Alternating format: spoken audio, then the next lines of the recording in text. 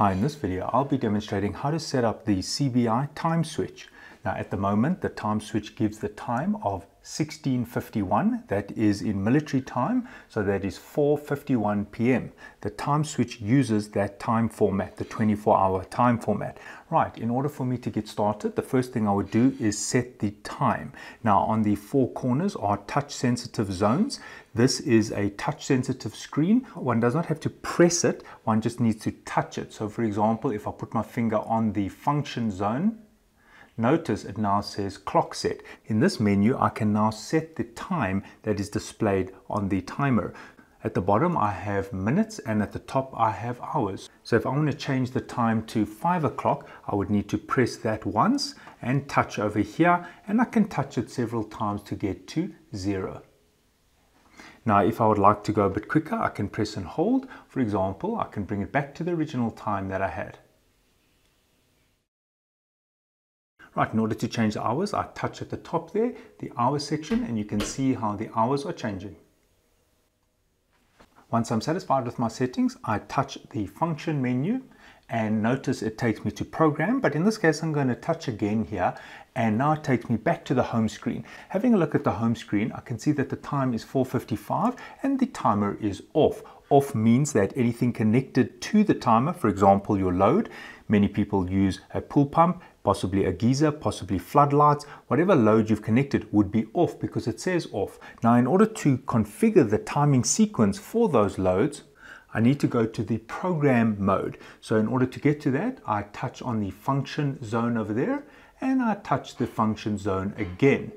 Now over here I have the programming mode and I'm going to set a timing sequence whereby it will be for a geyser and let's say the geyser should come on at 5 o'clock in the morning and then turn off at 7 o'clock in the morning and then have an afternoon cycle of turn on time 4 p.m. and then turn off time 8 p.m. So in order to do that I'm going to say off so I touch there and notice it is in 15 minute increments. So now it says 0015. That is 15 minutes past midnight, the timer is still off. If I touch here again, it's 30 minutes past midnight. So I want it off all the way till 5 o'clock in the morning. Now at 5 o'clock I want it on. So I touch here where it says on now there are two things being displayed. The first thing is a little line has formed over there.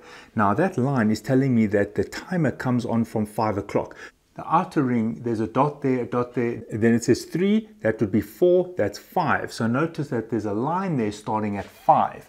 Now in the inner ring, this is the interval. Now the timer works in 15 minute intervals. That means you can have this switch a load on or off every 15 minutes or within 15 minute intervals. So that means that also a multiple of 15 can also be set. So if I switch this on again, notice that the geyser or the load would now be on for 30 minutes. Now one can see that it says 5.30.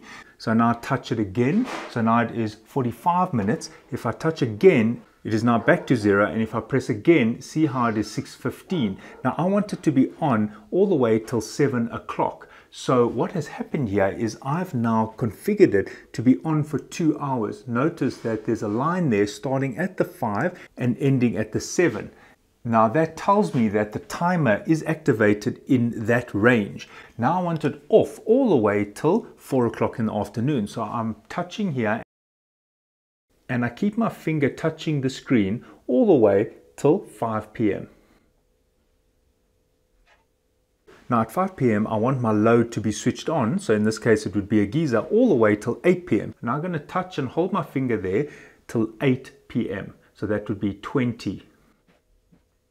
Right, so in this case I've now set two timing sequences from 5 to 7 the geyser would be on and then from 4 to 8 the geyser would be on. Now I can touch the function zone over there and notice that immediately my time is actually saying on and the reason why it's saying on is because I am within the on time of this particular timing sequence.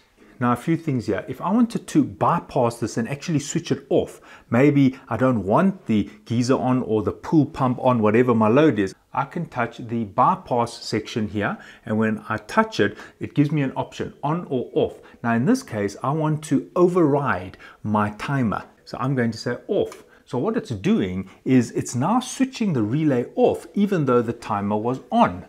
Now if I want to disable that, all I need to do is put my finger on the bypass and it clicks back to the timing sequence of on.